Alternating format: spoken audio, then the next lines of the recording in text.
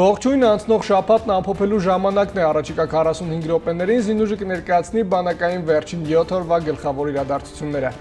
Միջև թողարկման հիմնական թեմաներին անցնելը նախ համարոտ այն ամենի մասին, ինչ կպատմենք եւ կցուցադրենք։ Կառավարության ղեկավարն ամփոփել է պաշտոնավարման 1 տարին։ Վարչապետ Նիկոլ Փաշինյանը խոսել է նաև անվտանգային հարցերի եւ պաշտպանական ոլորտի բարեփոխումների մասին։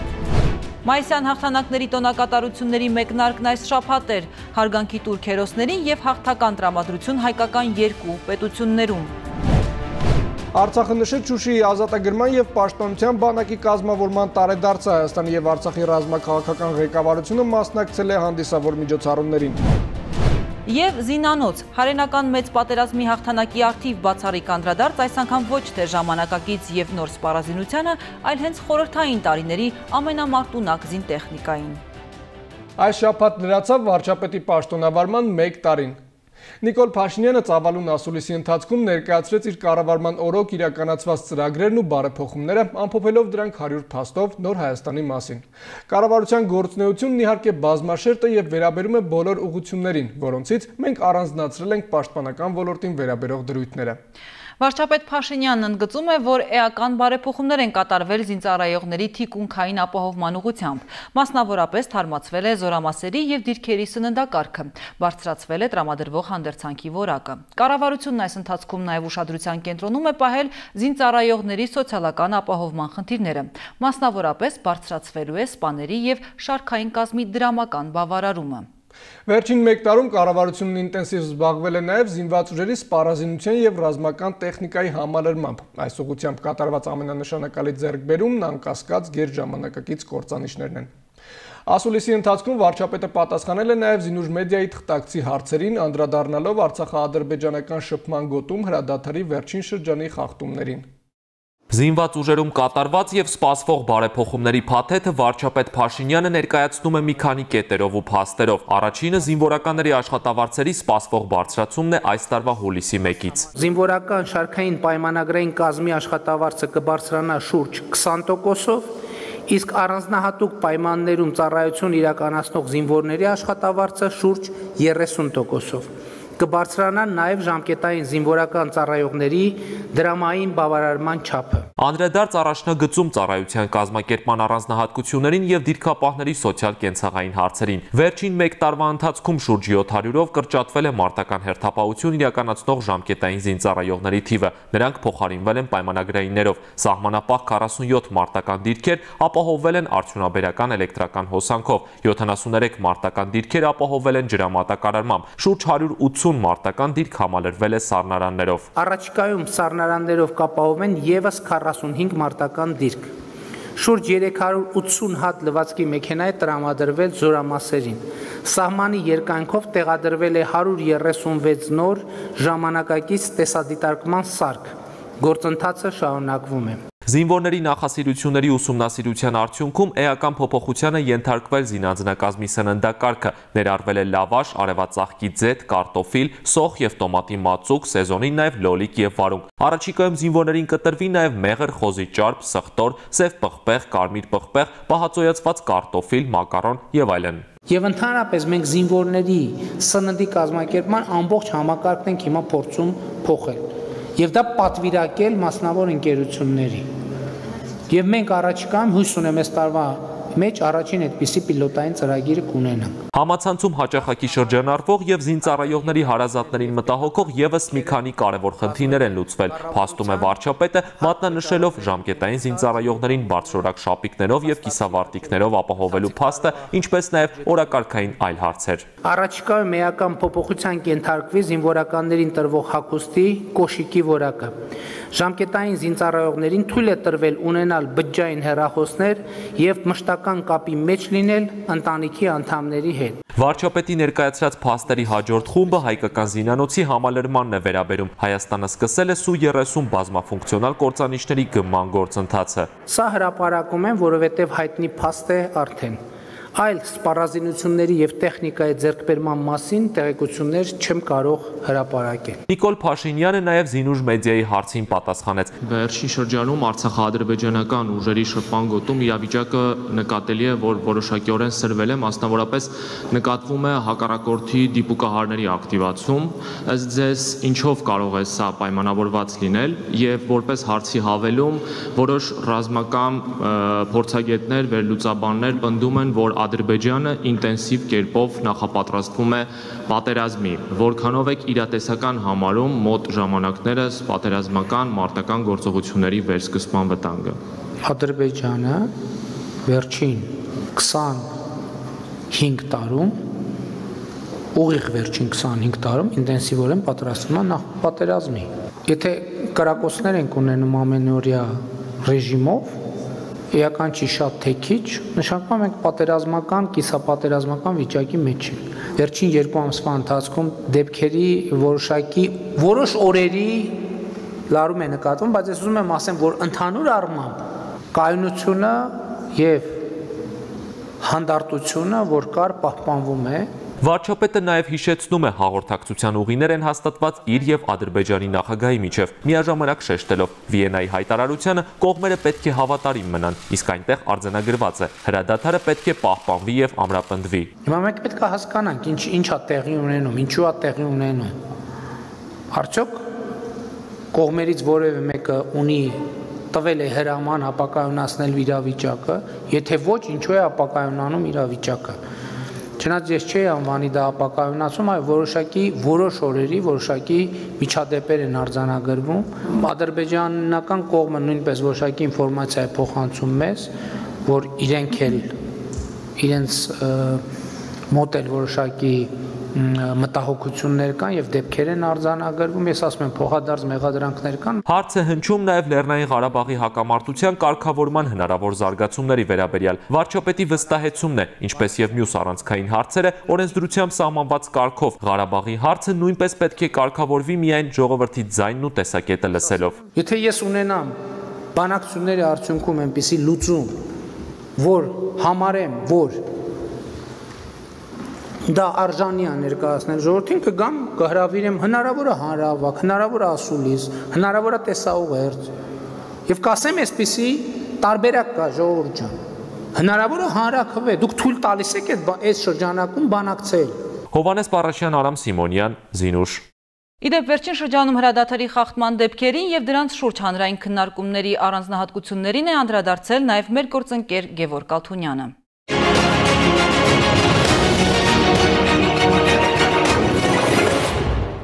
Բարի երեկո։ Վերջին շրջանում սահմանային իրադրությունը որոշակիորեն սրվել է։ Որոշակիորեն, քանի որ ընդհանուր առմամբ վիճակը հիմա էլ տրամագծորեն այլ է, ինչ ասենք նախորդ տարի էր։ Մասնավորապես որոշակիորեն ակտիվացել են հակառակորդի դիպուկարները, բայց ելի համեմատության մեջ նույն նախորդ տարիների իրադրությունը լիարժեք վերահսկել է։ Այդուհանդերձ, այս զարգացումները որոշակի հետևությունների տեղիք անկասկած տալիս են։ Ակնհայտ է, որ քաղաքականությունն ու զինվորական գործը որքան էլ փոխկապակցված այդուանդերձ էապես տարբեր են։ Եթե քաղաքական, առավել եւս բանացային գործընթացում իրերն ու դրանց դասավորությունը տարբեր երկրների ուժերի կամ մարդկանց կողմից կարող են տարբեր կերպ ընկալվել, ներկայացվել ու մեկնաբանվել, ապա բանակում ամեն ինչ շատ ավելի հեշտ է, բարձ ու հասկանալի։ Այս տեսանկյունից իհարկե հակառակորդի դիպուկարների ակտիվացումը մանավանդ բարձր մակարդակով վերջին բանակցություններից հետո պետք է վերլուծության եւ որոշակի քայլերի պատճառ դառնա քաղաքական հարթությունում, բայց բանակի համար իրողությունը մի փոքր այլ է եւ այս առումով չափազանց ուշագրավ են վերջին օրերի սահմանային զարգացումների մասին հանրային ու մասնավորապես սոցցանցային քննարկումները։ Օրինակ, որ դրանք վկայում են, որ Ադրբեջանը ինտենսիվ կերպով պատրաստվում է պատերազմի։ Բանից անտեղյակ մարդու մոտ կարող է տպավորություն ստեղծվել, թե Ադրբեջանը հենց նոր սկսեց պատրաստվել պատերազմի եւ այն, որ վերջին 1-2 շաբաթվա ընթացքում ադրբեջանցի դիպուկարները մի քանի անգամ կրակել են մեր դիրքերի ուղությամբ, ապացույցն է, որ պատերազմը ուր-որ է սկսվելու է։ Իրականում ամեն ինչ շատ ավելի པարզ է։ Ադրբեջանը պատրաստվում է պատերազմի այն պայից սկսած, երբ հերավոր 1994 թվականին կնքվեց զինադատարը, եւ խապկանքներ այս հարցում չպետք է լինեն։ Ավելին,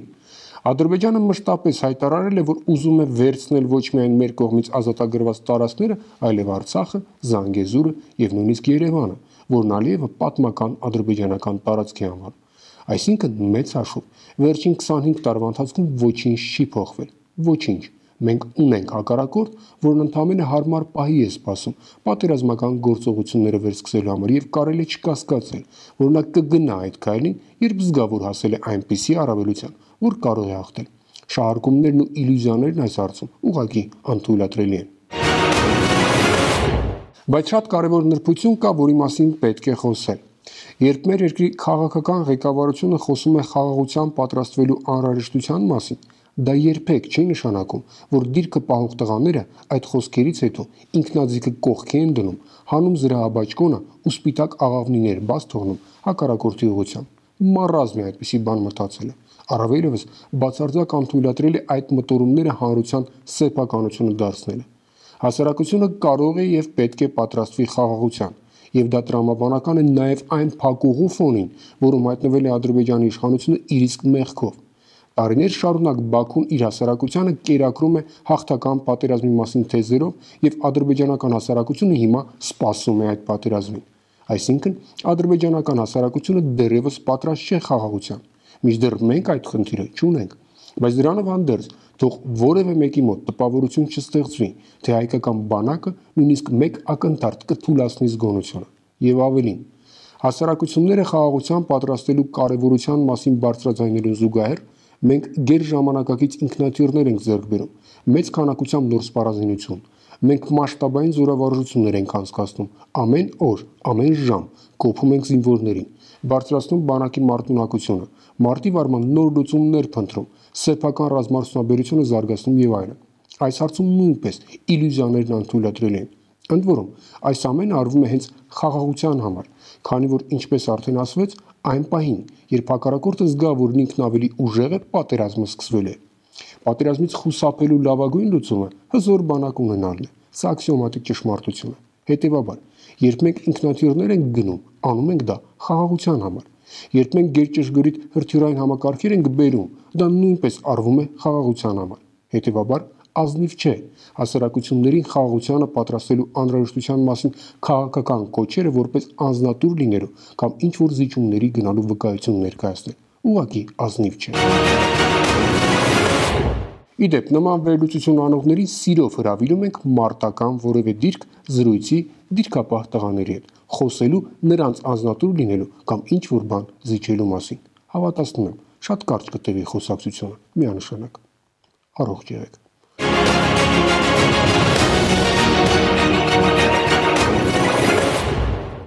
Հաղթական մայիսն է։ Մայիսի 9 հայոց պատմության ամենափառահեղ էջերից մեկն է, որը միավորում է միանգամից 3 տոն։ Հաղթանակ հայրենական մեծ պատերազմում Շուշին ազատագրելու պատմական դարձած գործողություն եւ պաշտպանության բանակի կազմավորում։ Սա հաղթանակի շարք է, որն ինչպես բոլորն են ընդգծում, փոխկապակցված էր։ Հայ մարտիկների ներդրումն ու նվիրումը հայրենական պատերազմին ոգեշնչեց նաև Արցախյան ռազմաճակատ մեկնող տղաներին։ Հաղթանակի հերթական նվաճումը Շուշին էր անհավանական թվացող մի գործողությամբ, որը բեկումնային դարձավ Արցախի ազատագրման գործում, ինչի ընթացքում նաև կազմավորվեց պաշտպանության բանակը, որն այսօր հուսալիորեն ապահովում է Արցախի անվտանգությունը։ Սա համահայկական նշանակության երատոն է, որը մեծ շուքով տոնում են Երևանում, Մարզերում եւ Արցախում։ Հայկական երկու պետությունների ռազմաքաղաքական ղեկավարությունն այդ օրը սկսում է զինվորական պանթեոնում հարգանքի տուրք մատուցելով հայրենիքը պաշտպանելիս հերոսացած հայորդիների հիշատակին։ Մայիսյան երատոնի օրվան ընթառաջ բանակի ղեկավար կազմը Եռաբլուր զինվորական պանթեոնում է։ Հաղթանակի եւ խաղաղության օրը հաղթանակ զբոսայգին է կրկին մարդաշատ, մտնոլորտը տոնական, տրամադրությունը հայրենասիրական։ Պատմության տարբեր փուլերում հաղթանակ կերտած մի քանի սերունդներ մեկտեղվել են մեկ վայրում, զոհված ընկերներին հիշելու, հաղթանակի բերկրանքը վերապրելու եւ միմյանց շնորհավորելու համար։ Շնորհանքը համայն հայությանը, որ կարողացել է մեր երբեմնի հզոր մեծ հայրենիքի կազմում իրեն ավանդ ունենալ մեծ հաղթանակը ձեռք բերելու համար։ Եվ այս ամեն ինչը սերնդեսերունց փոխանցել մեզ, որպեսզի կարողանանք մենք ջարդենք մեր դարավոր ճշտամու ողնաշարը եւ ազատագրենք մեր պատմական շուշին։ Անհայտ զինվորի հիշատակը հավերժացնող անմար կրակը խորհրդանշում է հայրենիքի պաշտպանության ու խաղաղության համար կյանքը զոհաբերած մարտիկների հավերժ հիշատակը։ Հենց այստեղից էլ հարգանքի турքով ու ծաղիկների խոնարհումով մեկնարկում է հաղթանակի օրվան նվիրված միջոցառումների շարքը։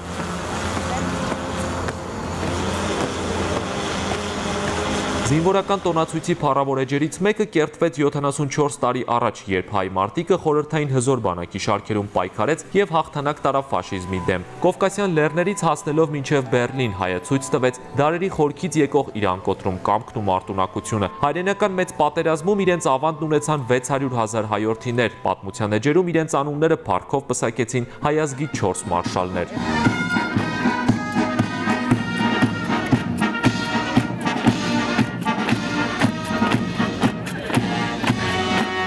Զինվորական շքերթից հետո պատերազմի մասնակիցները վրանում բարձրաստիճան պաշտոնյաների հետ են տոնը նշում ավանդական դաշտային խոհանոցի սնունդով։ Գերակուրները համտեսելուց առաջ նախ բաժակ են բարձրացնում եւ հիշում բոլոր հերոսներին։ Հայաստանի կենացը, մեր ժողովրդի հաղթանակների կենացը։ Յուրաքանչյուր վետերան այստեղ իր պատմությունն ունի, զրուցում են, պատմում եւ նորից վերապրում այն ամենն, ինչի միջով անցել են ու հաղթել։ Ու չնայած պատկառելի տարիքին վետերանները հիշում են մեծ հայրենականի բոլոր դրվագները, իրենց մարտական ուղին ու մարտական ընկերներին։ սկզբնակշիռը Маракашевичев,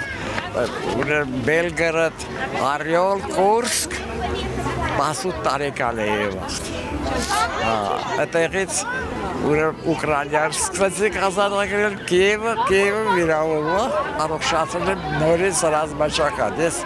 արդեն գնացի Լեհաստանում։ Հայրենական պատերազմի մասնակից 95-ամյա Արտյոմ Հակոբյանն էլ բացառություն չէ։ Մյուսների պես վաղ առավոտից պատրաստվել է մեդալներով, շքանշաններով եւ զինվորական հանդերձանքով շտապել հաղթանակի զբոսայգի։ Այսօր ես ոնց որ երիտասարդանում եմ։ Ես պարկած ժամանակ դեր են կնում, անմիջապես հակնում, նախապատրաստում եւ գալիս։ Գալիս եմ գլուխս խոնարեմ այն զոհվածների առաջ եւ բարձենալ նրանցով, ովքեր վերադարձել են։ Մեծ հայրենականի կենթանի լեգենդների կողքին նաև Արցախյան ազատամարտի մասնակիցներն են, որոնց սխրանքը հայրենական պատերազմից տասնյակ տարիներ անց մայիսի 9-ը դարձրեց երաթոն, խորհրդանշելով ոչ միայն մեծ հայրենականում տարած հաղթանակը, այլև Շուշիի ազատագրումը եւ պաշտպանության բանակի ստեղծումը։ Ես 88-ից մինչև 94 ակտիվ մասնակցություն մենակ 3 անգամ Հայաստան զենք եմ մտցրել, բացի դրան մասնակցել ֆիդայական շարժման եւ այս վերջի անգամ քարորիա պատերազմի ժամանակ 33 օր ակտիվ մասնակցություն եմ տվել Ազգությամբ կես հայ, կես էստոնացի Ֆելիքս Հովակիմյանը 1988-ից մինչև այսօր հայրենի հողի կանչով բարբերաբար Եվրոպայից գալիս է Հայաստան։ Իսկ թե որտեղից է ծնվել այդքան մեծ սերն ու կապվածությունը Հայաստան աշխարհի նկատմամբ, Բուրմանը շատ կարճ է պատասխանում։ Սիրում եմ հայ ազգը։ Հաղթական օրվա Երուսերի գույներն էլ ավելի են հարստացնում փոքրիկները, ոչ պակաս տոնական ու օրվա խորհրդին համահունչ զինվորական հանդերձանքով։ Այսօր հաղթանակի օրն է։ Մեկը Շուշայ, մեկը որ հաղթել են հայրենական պատերազմում։ Майские дни 45 года навсегда останутся в памяти. Մայիսի 9-ին վաղ առավոտից հաղթական շունչը թևածում էր նաև Գյումրու Վարդանանց հրապարակում։ Բոլորը շնորհավորում են միմյանց հպարտանում սերնդեսերունդ հայազգին փոխանցված հաղթական ոգով, միասնականությամբ եւ այդ հատկանիշներով այսօր հայոց բանակում ծառայող զինվորների քաջությամբ։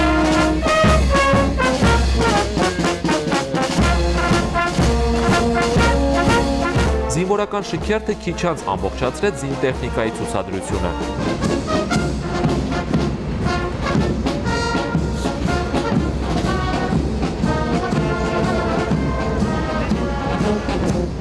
այս հաղթանակները նոր սերունդին դաստիարակում են այն ոգով, ինչ ոգով, որ դաստիարակվել են մեր պապերը, մեր հայրերը, մեր որդիները։ Այսօր է յուրաքանչյուր քաղաքացու համար շատ մեծ պատիվ է։ Այդքան մենք զոհ ենք ունեցել, զոհ ենք տվել, որ այսօր խաղաղի երկինքի տակ ապրենք։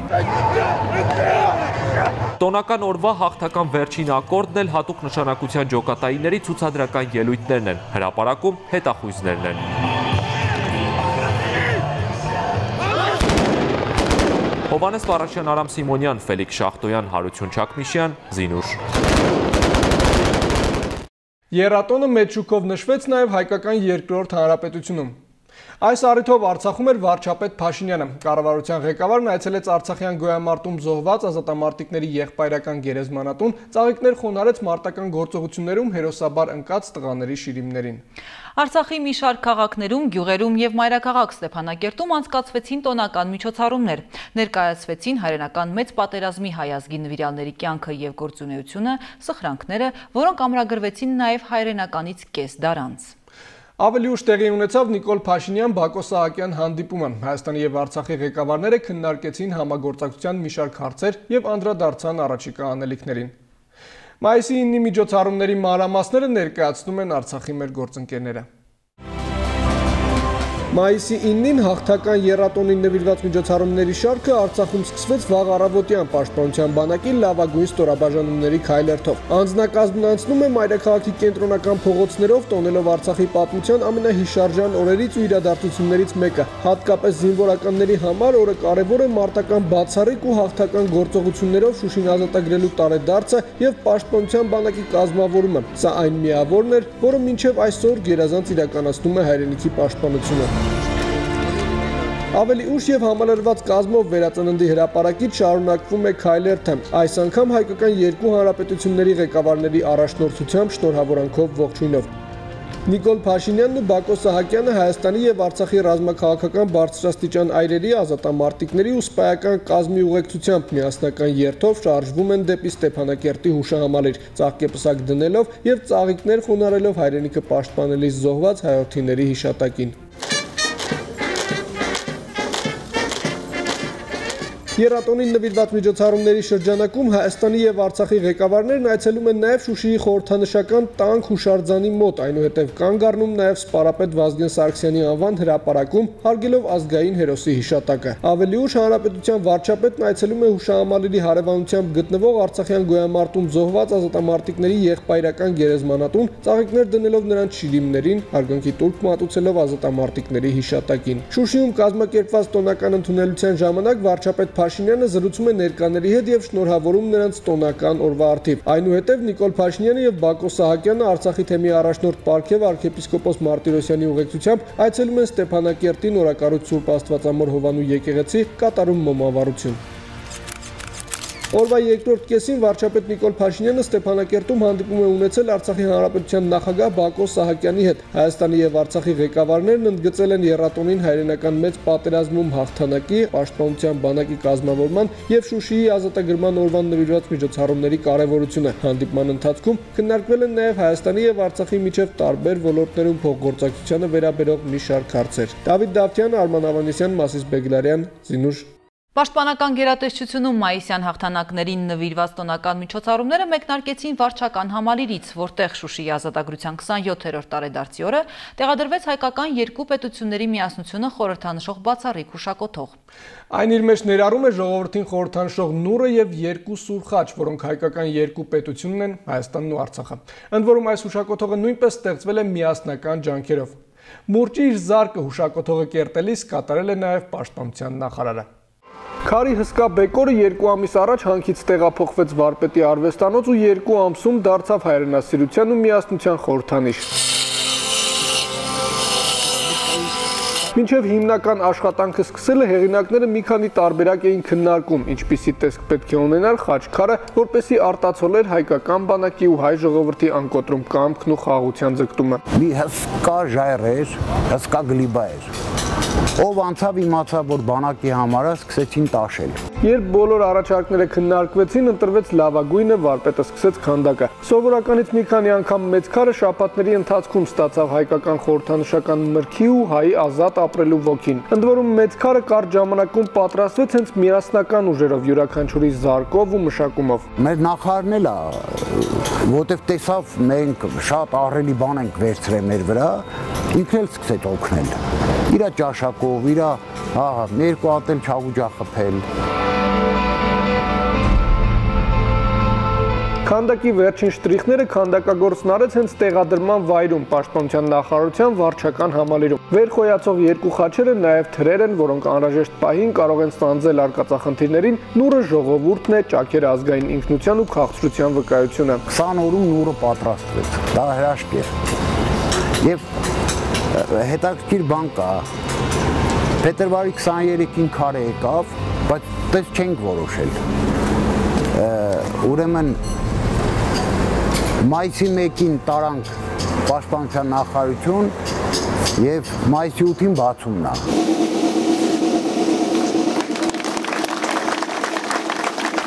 Հուշակոթողի ուղերձն էլ ամփոփվեց անվանումով՝ միասնություն, հանուն մեկ ընդհանուր գաղափարի հայկական երկու հանրապետությունների ազատ անկախ գոյության, կենսագործունեության ու արարման։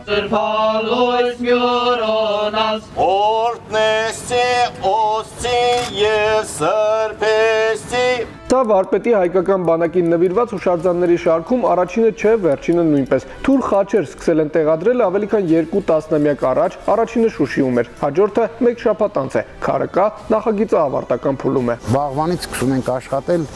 տանենք հասցնենք մադավիս։ Սահմանակար հետո սահմանապահ դարձած այս կոթողները զորամասերում դիրքերում ամբողջացնում են հայրենիքի սահմանի ընտանիքի ու խաղաղության նկատմամբ սերն ու նվիրումը։ Այս քանդակներն ամփոփում են դիրքի պատմությունն ու հերոսներին, սխրանքներն ու падգամները, որը կարող է մեծ ուժ եւ հավատ հաղորդել ամենաանրաժեշտ պահին հայրենիքը պաշտպանելիս ու սահմանին մոտեցող հակառակորդին պատժելիս։ Դավիթ Դավթյան, Անդրանիկ Արթենյան, Ֆելիքս Շախտոյան եւ Արթուր Ղարիբյան, Զինուշ Տոնական միջոցառումների շարքում Երևանում անցկացվեց արդեն ավանդական դարձած քայլերթը։ Բարձրաստիճան պաշտոնյաները, հասարակական գործիչները ու երիտասարդները հավաքվել էին հարգանքի տուրք մատուցելու անմահների գնդին, հերոսներին, որոնք անգնահատելի ներդրում են ունեցել հայրենական մեծ պատերազմում։ Զինուժի իմ գործընկերները նույնպես մասնակցել են երթին եւ մեկ տեսաշարով ամփոփում են ակցիայի կարևոր դրվագները։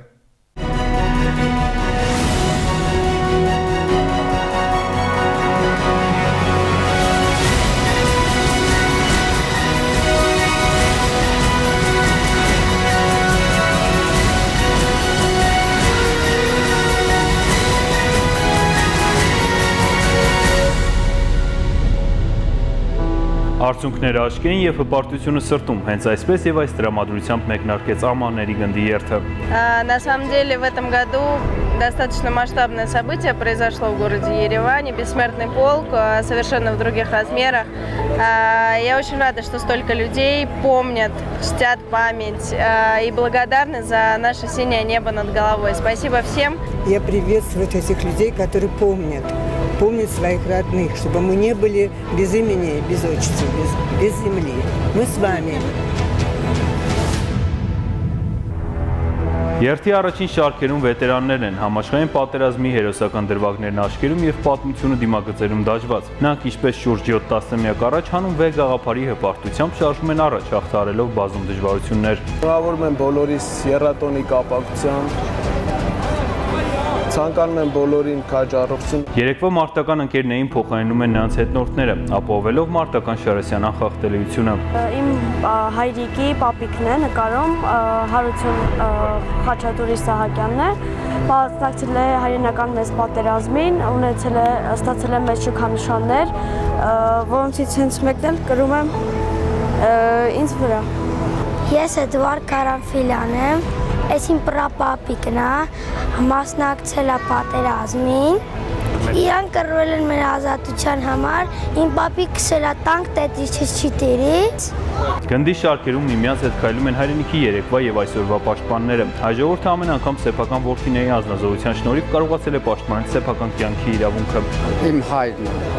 հայրենական մեծ պատերազմում ինքը կամավոր գնաց Երեք եղբայրներ էին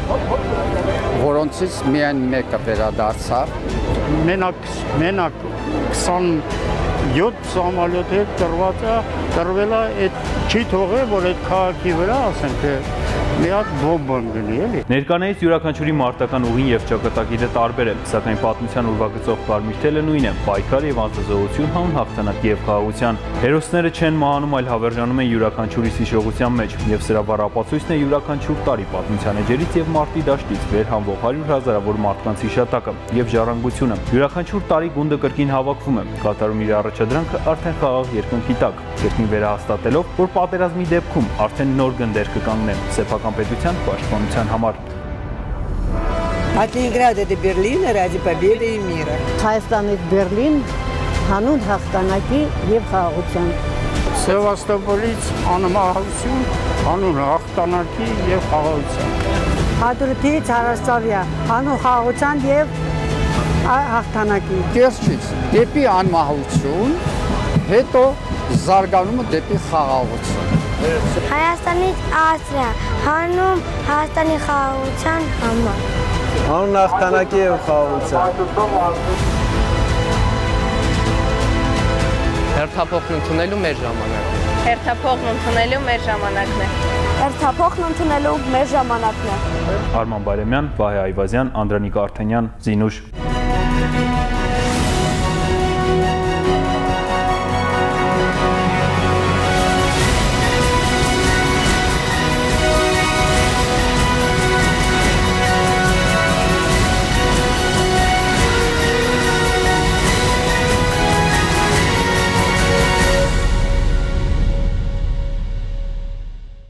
Ռազմական ոգին իսկապես փոխանցվում է նաև բեմից երկերի, պարերի ու երաժշտության շնորհիվ։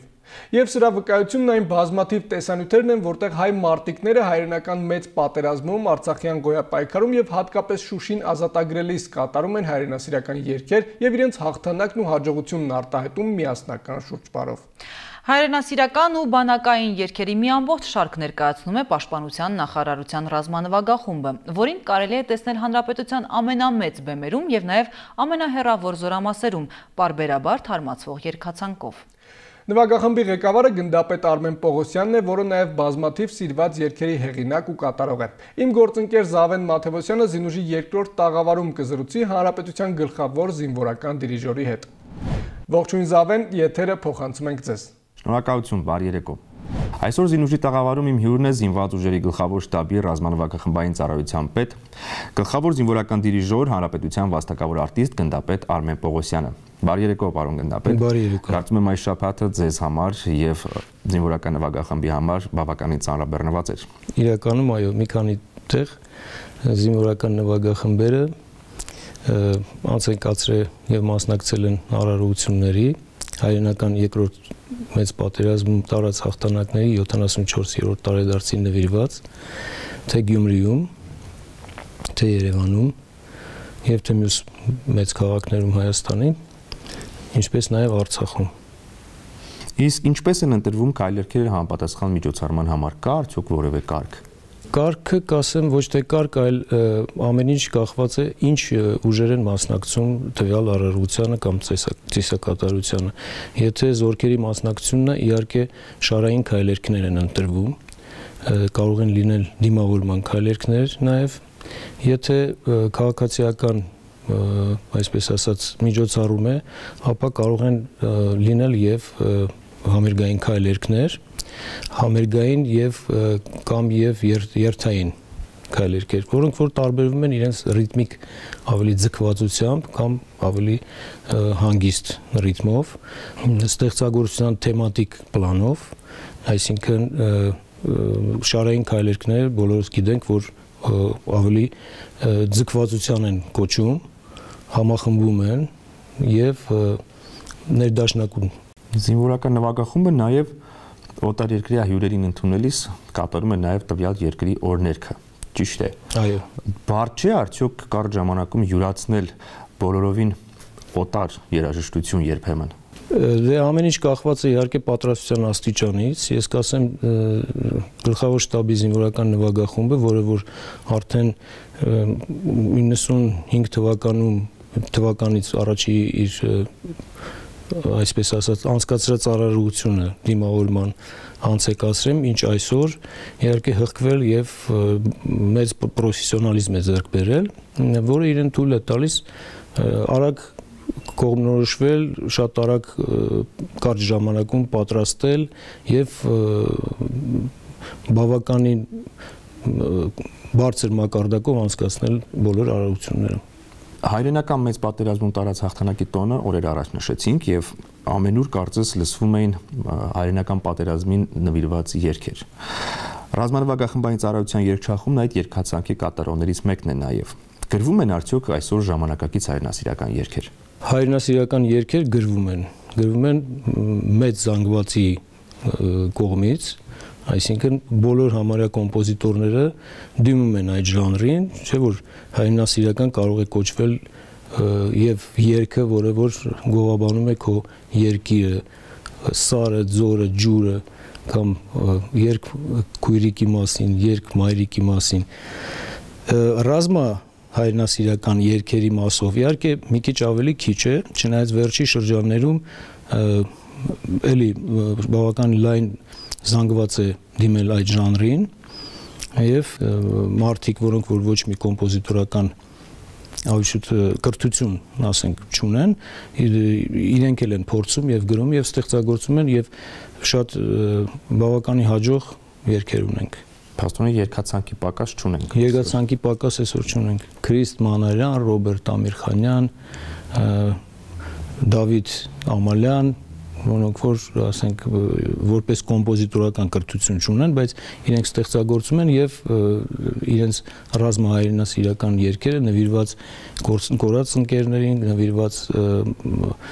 կրվին, կրվի թեմային կան եւ բավականի հաջող են սա երկերի մասին, իսկ քայլերքերը ինչ է արվում, որպեսզի քայլերքն անգամ արդի լինի, չկրկնվեն կամ նորովի մոտեցմամբ հնչի։ Քայլերքերի ժանրում կան ստեղծագործություններ, այ ոնց որ ես ասացի առաջի հարցին պատասխանելով, որ քայլերքերը իրենք բաժանվում են մի քանի տեսակի։ Ստեղծագործում են ավելի շատ համերգային ժանրում, որտեվ մնացած հանդիպ հանդիպան քայլերքին դիմավորման քայլերքի ժանրում կամ շարային քայլերքի ժանրում շատ քիչ ստեղծագործություններ են ծնվել դեռ Արմեն Մարտիրոսյան հայկական բանակ գիտենք այդ երգը ինքը քայլ երգ է իրեն առանց տեքստի երբ նվագում ես ինքը քայլեցնում է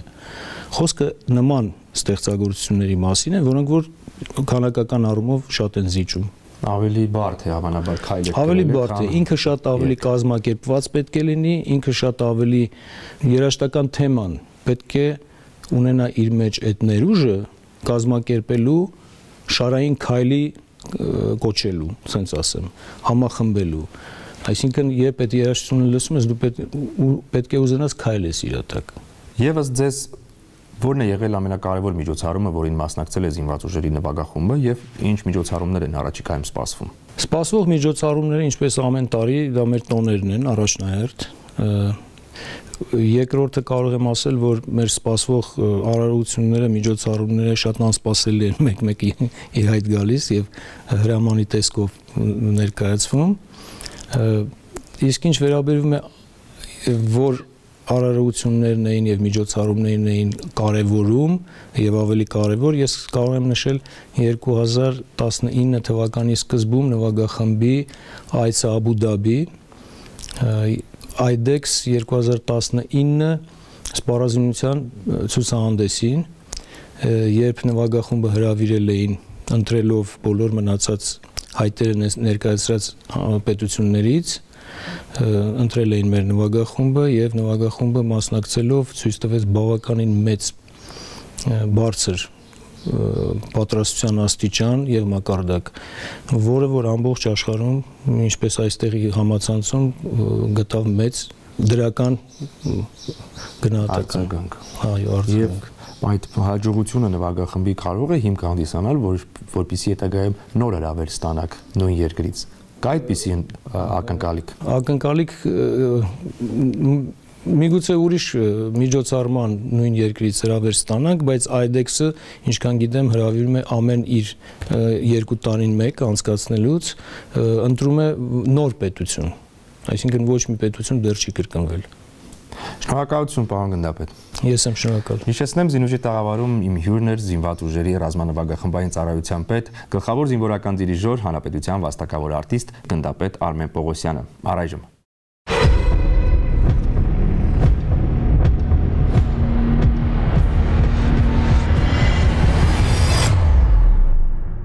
Թողարկման այս հատվածում առաջարկում եմ ծանոթանալ բանակային անցուդարձի մի շարք այլ ուշագրավ դրվագների համառոտ եւ մեկ տեսաշարով։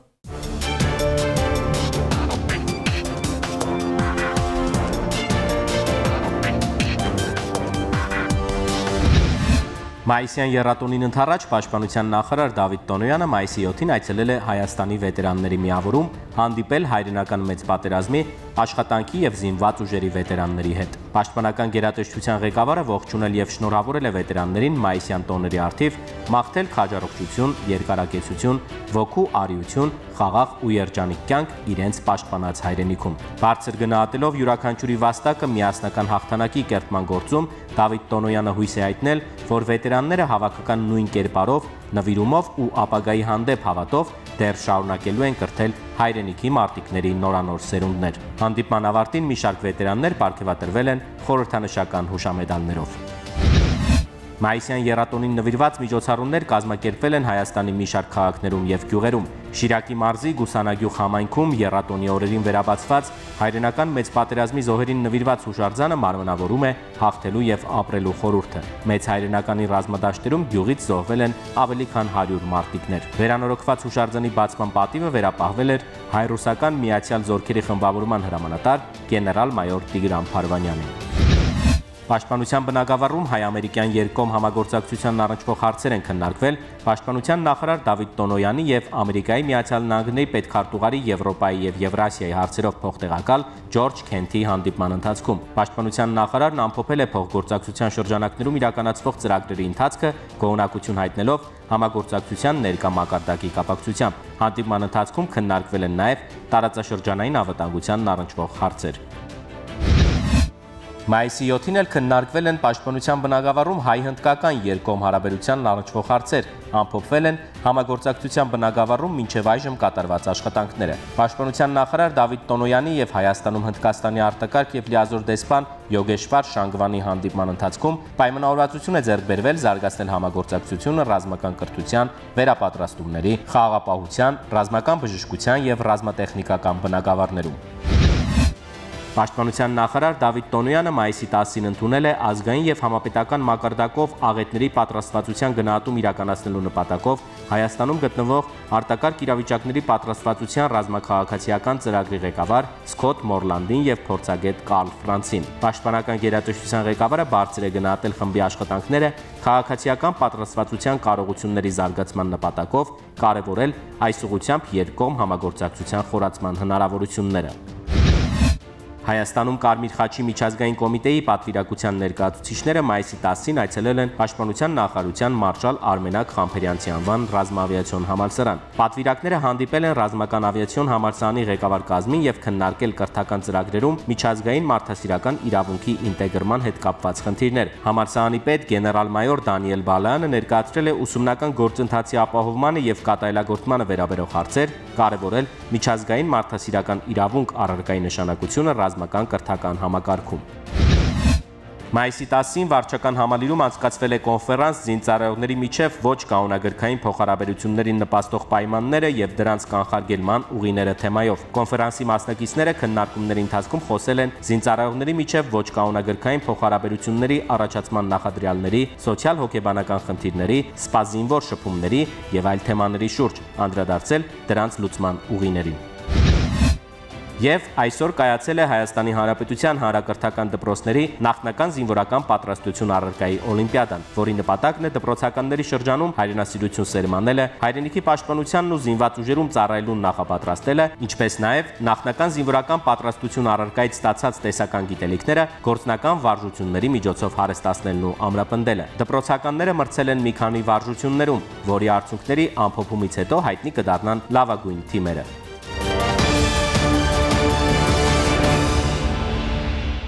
Եվս մեկ անդրադարձ հայրենական մեծ պատերազմի հաղթանակի տարեդարձին։ Այս անգամ թեմային անդրադարձել է զինանոցը խոշորացուցի տակ առնելով խորհրդային սպառազինության լավագույն նմուշները։ Հայրենական մեծ պատերազմի տարիներին զինտեխնիկան սպառազինությունը բնականաբար այնքան զարգացած չէր, ինչպես այսօր, սակայն նույնքան կարևոր էր մարդկային գործոնը, որն էլ մարտական սահմանափակ հնարավորություններով հսկաներին դարձնում էր լավագույնն ու անպարտելին։ Այս շաբաթ մեր գործընկեր Արման Բայրամյանն ուսումնասիրել է հայրենական մեծ պատերազմում կիրառված ռազմական տեխնիկայի բնութագրերն ու զինանոցի հերթական թողարկումը նվիրել հին սերնդի նմուշներին։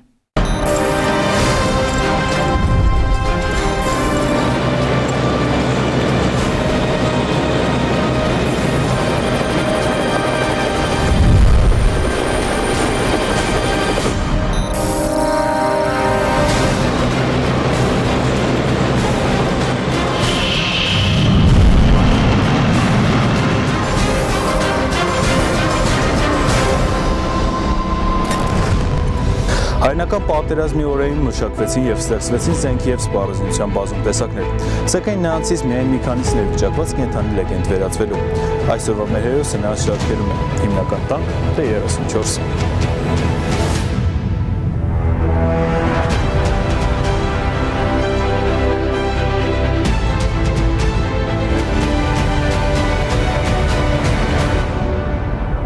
Իսպանիա նախորդ դարի 30-ական թվականներ ամբողջ պետության տարածքում ընթանում է քաղաքացիական պատերազմ։ Հենց այստեղ հնչեցին առաջին ազդակները խորհրդային միության համար։ Պոտենցիալ հակառակորդի սպառազինությունում հայտնվել էր նոր զենք, որը ունակ էր խոցելու նրանց տանկերը։ Խորհրդային միության ինժեներներին առաջադրվեց խնդիր մշակել արկատանկերի զրահավորման մոդեռնիզացման կամ նոր տանկերի ծրագիր։ Այն տանկերը, որոնք 30-ականների կեսերին դեռ համարվում էին հերանեկարային, արդեն 30-ականների վերջերին չէին կարող այդպեսին լինել։ Սկսվեց որոնումը նոր տիպի տանկի։ Այդ ժամանակաշրջանում տանկաժինական բյուրոների արժև ծառացած էր կարևոր եւ բարդ ընտրություն։ Նոր տանկի համար ընտրել առավել գերակա ուղղություն, շարունակություն, զրահավորում թե հերանոթի զորություն։ Միխայել Կոշկինով արդեն մի քանի տարի հետո վերածվելու էր լեգենդի, այս հարցին նույնպես շատ բարձ պատասխան տվեց։ T34-ում ինժեներները շատ լավ էին կարողացել համատեղել եւ քրակային հզորությունը, եւ շարժիչի հզորությունը, եւ զրահային պաշտպանվածությունը։ Մասնավորապես զրահը արված էր մեծ թեկություններով, որը հնարավորություն էր տալիս մեծացնել զրահի պաշտպանվածությունը նույն զրահը ունենալու պայմաններում։ Անցնելով բոլոր փորձարկումները վերջին եւ ամփոփիչ փուլում տանկին պակասում էր ամենակարևորը՝ տանկի անցած հեռավորությունը։ Ագնացող խնդիրը գլխավոր կոնստրուկտորը կրկին լուծեց իրեն բնորոշ եղանակով։ Ընդունվեց որոշում Խարկովից միջև Մոսկվա տանկը անցնելու էր իր ընթացքով։ Ցավոք տեղափոխման ընթացքում Միխայել Կոշկինը ստացավ թոքերի բորբոքում եւ կար ժամանակ անց մահացավ։ Սակայն անգամ կոնստրուկտորի մահվանից հետո տանկը շարունակեց իր փառահեղ ճանապարհը։ T34-ը այնքան հերանեկարային էր, մանավանդ վառելիքը, որտեղ բենզին չէր կիրառում գերմանական տանկերի նման, այլ սոլյարյուղ, այսինքն սալյարկա, ու այդ առումով T34-ը ցույց տվեց մի ամբողջ ուղղություն, որով զարգանում է համաշխարհային տանկաշինությունը մինչև այսօր։ Երկրորդ համաշխարհային սկզբից մինչև վերջ Շպագին ինքնաձիգի պես այս տանկերը ամենուր էին եւ յուրաքանչյուր ճակատում Կարմիր բանակայինի կողքին մոբիլության եւ խառստորաբաժանումների կիրառման հաշվին շատ հաճախ այս տանկերը իրենց վրա էին վերցնում ոչ միայն հակառակորդի բնագծերի ճեղման ֆունկցիան, այլ նաև հանդիսանում էին հետևակի աջակցման մեքենա։ Տանկը ներգրավում է հետևակի կողմից լուծվող խնդիրներին, այսինքն մասնակցում է համազորային մարտին եւ T34-ը երկրորդ համաշխարհայինի բոլոր փուլերում այնպիսի տանկեր, որը կարողանում էր այդ խնդիրը լուծել։ Երկրորդ համաշխարհանի ամենամասսայական տանկը. Ամբողջ պատերազմի ընթացքում արտադրվել է ավելի քան 35000 միավոր T34։ Եվ սա ամենևին էլ պատահական չէ։ Արագաձգություն, մանևրականություն, հուսալիություն եւ ինչ ամենակարևորն է օգտագործման ձյունություն։ Հենց այս պատճառներն էին ընկած այս տանկի նման լայն տարածման հիմքում։ Միխայել Կոշկինի գաղափարները իսկապես փայլեցին պատերազմի ամենածանր օրերին։ Արտադրման բարձրությունը հնարավորություն էր տալիս արագ կազմակերպել նոր տանկերի արտադրություն եւ վերանորոգել վնասվածքները։ Այս կերպ լացնելով մարտական կորուստները, սրա վառ վկայությունը էր, որ անգամ հայրական Խարկովի գործանի կորստից հետո արտադրությունը շարունակվեց։ T34 տանկերի արտադրության ուղակի թրիշկաձև աճ արձանագրեցին, որովհետև խորթային տանկաշինությունը ցույց տվեց, որ համաշխարհային առաջատար տանկաշինական համակարգերից մեկն է։ Համեմատության համար նշեմ, որ Գերմանիան պատերազմի ամբողջ ընթացքում բոլոր տիպի տանկերի արտադրությունով ներառյալ նաև ինքնագնաց հրետանային կայանքները ընդամենը 46000-ից մի քիչ ավելի միավոր կարողացավ արտադրել T34-ների մյուս առանձնահատկությունը մոդեռնիզացման մեծ պոտենցիալն էր։ Ամբողջ պատերազմի ընթացքում տանկը կատարելագործում էր, ստեղծում էին նոր մոդիֆիկացիաներ, այդ թվում օգտագործում էր տանկի ընթացային մասը, զրահատեխնիկա եւ սպառազինության նոր նմուշների ստեղծման համար։ T34 տանկերի կառուցվածքը այնպիսի այնքան լավն էր, որ հնարավորություն տվեց դրա բազայի վրա ստեղծել մի քանի համակարգեր Խորհրդային բանակի զրահատանկային զորքերի առաջամարտիկների շարքերում շատ էին հայերը, որոնք իրենց մարտական մեքենաներով նորանոր հաղթանակներ էին կրում, անմահացնելով եւ բարձրացնելով ինչպես յուրային, այնպես էլ ամբողջ զրահատանկային զորքերի անունը։ Բազում պատմությունների շարքերում էր ինչպես ասունցի Դավիթ տանկային շարությունը, այնպես էլ լեգենդար զրատանկային զորքերի մարշալ Բաբաջանյանը, որի տանկերը մեկ անգամ չէ որ ապացուցել են լավ սպառազինություն եւ ճիշտ ղեկավարումը հաճախ կարող են անհավանական խնդիրներ կատարել։ Այսօրվա մեր հերոսը անցած պատերազմի, սակայն երբեք չմոռացվող հաղթանակի վառ խորհրդանիշներից մեկն է։ Այրված, բազում վնասվածքներ ստացած, սակայն միշտ մարտական շարքերում։ Այս զրահմեքենան մարմնավորումն է յուրաքանչյուր կարմիր բանակայինի, որ հանուն հաղթանակի եւ խաղաղության Մոսկվայից մինչև Բերլին հաղթարել է բազում փորձություններ, անցել տիտանական պայքարի եւ զողությունների միջով, որpիսի այսօր հպարտության պարտասանի պատիվ ունեն։